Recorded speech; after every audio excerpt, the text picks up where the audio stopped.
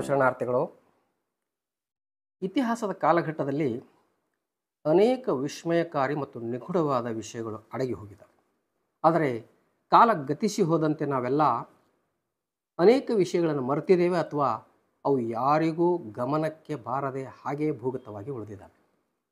ಅಂಥ ವಿಷಯಗಳನ್ನು ಹೆಕ್ಕಿ ಹೆಕ್ಕಿ ಹೊರಗೆ ತೆಗಿತಕ್ಕಂಥದ್ದು ನಿಜವಾದ ದೇಶಭಕ್ತರ ಕೆಲಸ ಆಗ್ತದೆ.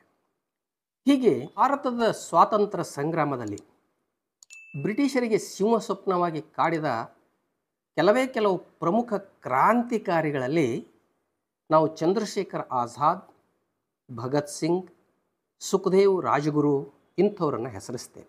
ಚಂದ್ರಶೇಖರ್ ಆಜಾದ್ ಅವರು ತಮ್ಮ ಧೀರತನ, ಶೂರತನದಿಂದ ಬ್ರಿಟಿಷರ ವಿರುದ್ಧ ಕ್ರಾಂತಿಕಾರಿಯಾಗಿ ಈ ದೇಶಕ್ಕೆ ಸ್ವಾತಂತ್ರ್ಯವನ್ನು ತಂದು ಕೊಡಬೇಕು ಅಂತ ಹೋರಾಡದ ಪ್ರಮುಖರಲ್ಲಿ ಒಬ್ಬರು ಅಂಥ ಚಂದ್ರಶೇಖರ್ ಆಜಾದ್ ಅವರಿಗೆ ಬ್ರಿಟಿಷರ ವಿರುದ್ಧ ಹೋರಾಡದಿರಲು ಹಣದ ಆಮಿಷವನ್ನು ಸಾವರ್ಕರ್ ಅವರು ಒಡ್ಡಿದ್ದರು ಅನ್ನುವಂಥ ಒಂದು ಸಂಗತಿ ಇತ್ತೀಚೆಗೆ ಬೆಳಕಿಗೆ ಬಂದಿದೆ.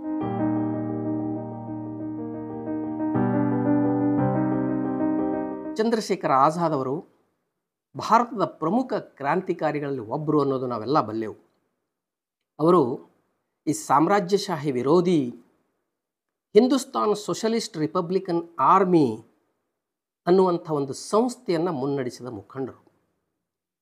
ಅದರ ಮೊದಲನೇ ಹೆಸರು ಹಿಂದೂಸ್ತಾನ್ ರಿಪಬ್ಲಿಕನ್ ಆರ್ಮಿ ಅಂತ ಇತ್ತು. ಅದರ ಮುಖಂಡರಾಗಿದ್ದವರು ರಾಮಪ್ರಸಾದ್ ಬಿಸ್ಮಿಲ್ ಅನ್ನುವಂಥವ್ರು. ಅದರ ಜೊತೆಗೆ ಇತರ ಮುಖಂಡರು ಅಶ್ಫಾಕುಲ್ಲಾ ರೋಷನ್ ಸಿಂಗ್, ರಾಜೇಂದ್ರ ಲಹರಿ ಇವರೆಲ್ಲರೂ ಆಜಾದ್ ಅವರ ಜೊತೆಗೆ ಬೆಳೆದಂಥ ನಾಯಕರು.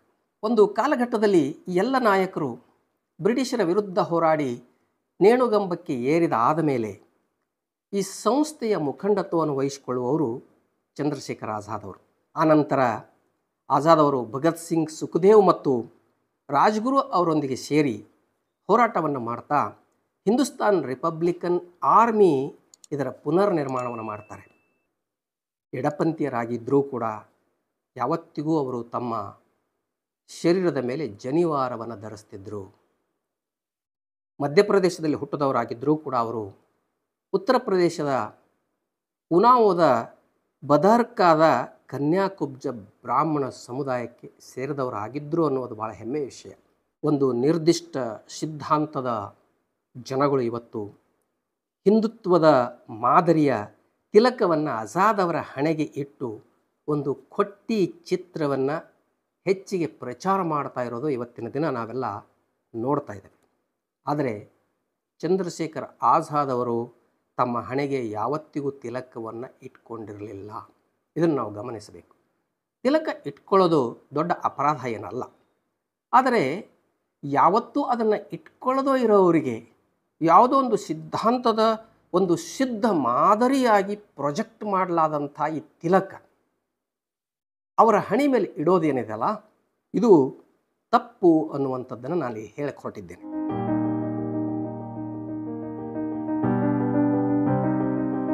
ಸಾವಿರದ ಒಂಬೈನೂರ ಎಂಬತ್ತರಲ್ಲಿ ಖಲಿಸ್ತಾನವಾದಿಗಳು ಕೂಡ ಭಗತ್ ಸಿಂಗ್ರನ್ನು ಹೈಜಾಕ್ ಮಾಡಲು ಹವಣಿಸಿದ್ದನ್ನು ನಾವು ನೋಡಿದ್ದೇವೆ.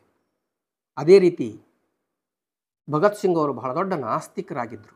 ಅವರೆಂದು ಖಲಿಸ್ತಾನವಾದಿಗಳ ಪರವಾಗಿ ಇರಲಿಕ್ಕೆ ಸಾಧ್ಯ ಇರುತ್ತಿರಲಿಲ್ಲ. ಆದರೆ ಖಲಿಸ್ತಾನವಾದಿಗಳು ಹತ್ತೊಂಬತ್ತು ನೂರ ಎಂಬತ್ತರಲ್ಲಿ ಭಗತ್ ಸಿಂಗರನ್ನು ಒಬ್ಬ ಸಿಖ್ ಹೀರೋ ಆಗಿ ಪ್ರತಿಬಿಂಬಿಸುವ, ಬಿಂಬಿಸುವ ಮತ್ತು ಅವರನ್ನು ಹೈಜಾಕ್ ಮಾಡುವಂಥ ವಿಫಲ ಯತ್ನವನ್ನು ಮಾಡಿದ್ದು. ಅದೇ ರೀತಿ ಇವತ್ತು ಚಂದ್ರಶೇಖರ್ ಆಜಾದರನ್ನು ಹಿಂದುತ್ವವಾದಿಗಳು ಹೈಜಾಕ್ ಮಾಡಿ ಅವರ ಹಣೆಗೆ ತಿಲಕ ಇಡತಕ್ಕಂಥ ಕೆಲಸವನ್ನು ಮಾಡ್ತಾ ಇರೋದು ನಾವು ನೋಡ್ತಾ ಇದ್ದೇವೆ. ಇಂಥ ಚಂದ್ರಶೇಖರ್ ಆಜಾದ್ ಅವರು ಅವರಿಗೆ ಆರ್ ಎಸ್ ಎಸ್ ಮತ್ತು ಹಿಂದೂ ಮಹಾಸಭಾದ ಬಗ್ಗೆ ಎಷ್ಟೊಂದು ದ್ವೇಷ, ಜಿಗುಪ್ಸೆ ಇತ್ತು ಅನ್ನೋದು ಇತಿಹಾಸದಲ್ಲಿ ಸ್ಪಷ್ಟವಾಗಿ ದಾಖಲಾದಂಥ ಸಂಗತಿ ಅದು. ಹಿಂದೂಸ್ತಾನ್ ರಿಪಬ್ಲಿಕನ್ ಆರ್ಮಿಯ ಮಾಜಿ ಸದಸ್ಯರಾದ ಹೆಡ್ಗೆವಾರ್ ಬ್ರಿಟಿಷರಿಗೆ ಮಾಹಿತಿದಾರರಾಗಿದ್ದಾರೆ ಅನ್ನುವ ಸುಳುವು ಕೂಡ ಚಂದ್ರಶೇಖರ್ ಆಜಾದ್ ಅವರಿಗೆ ಇತ್ತು. ಹಾಗಾಗಿ ಹಿಂದೂಸ್ತಾನ್ ರಿಪಬ್ಲಿಕನ್ ಆರ್ಮಿಯ ನಾಯಕರುಗಳು ಎಲ್ಲರೂ ಕೂಡ ಆರ್ ಎಸ್ ಎಸ್ ಸದಸ್ಯರನ್ನು ಟೋಡಿ ಬಚ್ಚ ಅಥವಾ ಬ್ರಿಟಿಷರ ಚೇಲಾಗಳು ಅಂತ ಭಾಳ ಜನಪ್ರಿಯವಾಗಿ, ಅಪಹಾಸ್ಯವಾಗಿ ಕರೆಯುತ್ತಿದ್ದದ್ದು ಕೂಡ ಇತಿಹಾಸದಲ್ಲಿ ದಾಖಲಾದಂಥದ್ದು.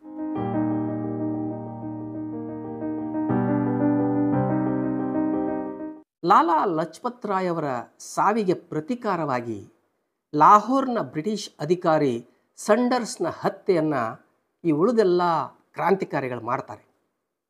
ಆಗ ಭಗತ್ ಸಿಂಗರ ಬಂಧನ ಆಗ್ತದೆ. ಭಗತ್ ಸಿಂಗ್ ಬಂಧನದ ನಂತರ ಎಲ್ಲ ಕಾಮ್ರೇಡ್ಗಳ ಪರವಾಗಿ ವಕೀಲಿಗಾಗಿ ಆಜಾದ್ ಅವರು ವಂತಿಗೆ ಹಣವನ್ನು ಕ್ರೋಢೀಕರಿಸ್ತಿರ್ತಾರೆ ಹಣವನ್ನು ಸಂಗ್ರಹ ಮಾಡಿ ಉಳಿದೆಲ್ಲ ಹೋರಾಟಗಾರನ್ನ ಬಿಡಿಸ್ಕೊಂಡು ಬರಬೇಕು ಅಂತ ಚಂದ್ರಶೇಖರ್ ಆಜಾದ್ ಅವರು ವಂತಿಗೆ ಹಣ ಸಂಗ್ರಹದಲ್ಲಿ ತೊಡಗುತ್ತಾರೆ ಆಗ ಹಿಂದೂಸ್ತಾನ್ ರಿಪಬ್ಲಿಕನ್ ಆರ್ಮಿಯ ಭಾಗವಾಗಿದ್ದಂಥ ಯಶ್ಪಾಲ್ ಅವರನ್ನು ಆಜಾದ್ ಸಾವರ್ಕರ್ ಅವರ ಬಳಿಗೆ ಚಂದ ವಸೂಲಿಗೆ ಕಳಿಸ್ತಾರೆ. ಆಜಾದ್ ಬ್ರಿಟಿಷರ ವಿರುದ್ಧದ ಹೋರಾಟ ನಿಲ್ಲಿಸಬೇಕು ಮತ್ತು ಜಿನ್ನ ಹಾಗೂ ಇತರ ಮುಸಲ್ಮಾನರ ಹತ್ಯೆಯನ್ನು ಮಾಡಿದರೆ ನಾನು ಐವತ್ತು ಸಾವಿರ ರೂಪಾಯಿ ನೀಡಲು ಸಿದ್ಧ ಅಂತ ಸಾವರ್ಕರ್ ಅವರು ಯಶ್ಪಾಲ್ ಅವರಿಗೆ ಹೇಳ್ತಾರೆ ಅನ್ನುವಂಥ ಸುದ್ದಿ ಇದು. ಯಶ್ಪಾಲ್ ಅವರು ತಮ್ಮ ಜೀವನ ಚರಿತ್ರೆ ಸಿಂಘಾವಲೋಕನ್ ಅನ್ನುವಂಥ ಗ್ರಂಥದಲ್ಲಿ ಈ ವಿಷಯವನ್ನು ಪ್ರಸ್ತಾಪ ಮಾಡ್ತಾರೆ. ಯಾವಾಗ ಚಂದ್ರಶೇಖರ್ ಆಜಾದ್ ಅವರು ಉಳಿದ ಎಲ್ಲ ಕ್ರಾಂತಿಕಾರಿ ಹೋರಾಟಗಾರರನ್ನು ಬಿಡಿಸ್ಕೊಂಡು ಬರಬೇಕು ಅಂತ ವಕಾಲತ್ಗಾಗಿ ಹಣವನ್ನು ಸಂಗ್ರಹಿಸ್ತಿರ್ತಾರೋ, ಆಗ ಆಜಾದ್ ಅವರು ಯಶ್ಪಾಲ್ರನ್ನು ಸಾವರ್ಕರ್ ಅವ್ರ ಹತ್ರ ವಂತಿಗೆಗಾಗಿ ಕಳಿಸಿದಾಗ ಸಾವರ್ಕರ್ ಅವರು ಈ ಆಫರನ್ನು ಇಡ್ತಾರಂತೆ, ಷರತ್ತನ್ನು. ಚಂದ್ರಶೇಖರ್ ಆಜಾದ್ ಅವರು ಬ್ರಿಟಿಷರೊಂದಿಗೆ ಹೋರಾಟ ಮಾಡೋದು ನಿಲ್ಲಿಸಬೇಕು ಮತ್ತು ಜಿನ್ನಾ ಮತ್ತು ಇತರ ಮುಸಲ್ಮಾನರ ಹತ್ಯೆಯನ್ನು ಮಾಡಬೇಕು.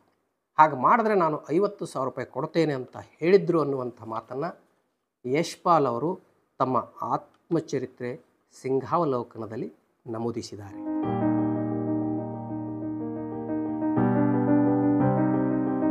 ಭಗತ್ ಸಿಂಗ್ ಹುತಾತ್ಮರಾದ ಬಳಿಕ ಸಾವರ್ಕರ್ ಸಹೋದರ ದುರ್ಗಾಬಾಬಿ ಮತ್ತು ಆಕೆಯ ಮಗನನ್ನು ಹೇಗೆ ತ್ಯಜಿಸಿದ್ರು ಅನ್ನೋ ಕುರಿತು ಬಹಳ ಸ್ಪಷ್ಟವಾಗಿ ಅವರು ಆ ಪುಸ್ತಕದಲ್ಲಿ ಬರೀತಾರೆ.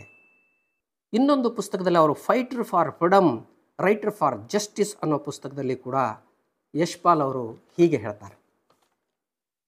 ಸಾವರ್ಕರ್ ನನ್ನ ವಿನಂತಿ ನಿರಾಕರಿಸಲಿಲ್ಲ.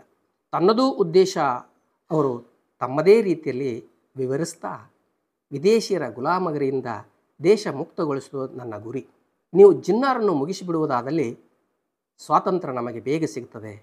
ಅದಕ್ಕೆ ನಾನು ಐವತ್ತು ಸಾವಿರ ರೂಪಾಯಿ ಕೊಡುವೆ ಅನ್ನುವಂಥ ಮಾತನ್ನು ಯಶ್ಪಾಲ್ ಅವರಿಗೆ, ಸಾವರ್ಕರ್ ಅವರು ಹೇಳಿದ ಮಾತು ಆಗ ಯಶ್ಪಾಲ್ ಅವರಿಗೆ ಮನಸ್ಸಲ್ಲೇ ಬಹಳ ಸಿಟ್ಟು ಬರ್ತದೆ.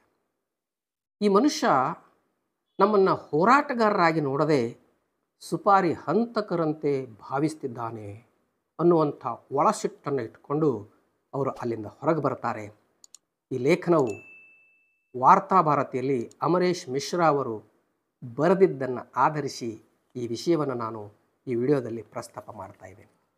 ಹೀಗೆ ಸಾವರ್ಕರ್ ಅವರು ಯಾವ ರೀತಿಯ ವ್ಯಕ್ತಿತ್ವವನ್ನು ಹೊಂದಿದ್ದರು ಅವರು ಬ್ರಿಟಿಷರ ವಿರುದ್ಧ ಹೋರಾಡುವ ಕ್ರಾಂತಿಕಾರಿಗಳನ್ನು ಹೇಗೆ ಆಮಿಷಗಳಿಗೆ ಬಲಿಯಾಗಿಸಿ ಬ್ರಿಟಿಷರ ವಿರುದ್ಧ ಹೋರಾಡುವುದನ್ನು ತಪ್ಪಿಸ್ತಿದ್ರು ಅನ್ನುವಂಥ ಈ ರಹಸ್ಯವಾದ ವಿಷಯ ಯಶ್ಪಾಲ್ ಅವರ ಪುಸ್ತಕದಿಂದ ನಾವು ಪಡ್ಕೋಬೇಕಾಗಿದೆ. ಶರಣು ಶರಣಾರ್ಥಿ. ಸತ್ಯವನ್ನು ಪ್ರತಿಪಾದಿಸುವ, ಜನರನ್ನು ಜಾಗೃತೆಗೊಳಿಸುವ ನನ್ನ ವಿಡಿಯೋಗಳನ್ನು ತಪ್ಪದೇ ನೋಡುತ್ತೀರಿ. ನೋಡಿದ ಮೇಲೆ ತಮ್ಮ ಸಮೀಪದ ಬಂಧುಗಳಿಗೂ, ಸ್ನೇಹಿತರಿಗೂ ಶೇರ್ ಮಾಡುವುದನ್ನು ಮರೆಯದಿರಿ. ಹಾಗೆಯೇ ಈ ಚಾನಲನ್ನು ತಾವೆಲ್ಲರೂ ಸಬ್ಸ್ಕ್ರೈಬ್ ಮಾಡಿ, ಜಾಯಿನ್ ಆಪ್ಷನನ್ನು ನಿಮ್ಮದಾಗಿಸಿಕೊಳ್ಳಿ. ಈ ಚಾನಲ್ ಬೆಳವಣಿಗೆಗೆ ಸಹಕರಿಸಿ. ಶರಣು ಶರಣಾರ್ಥಿ.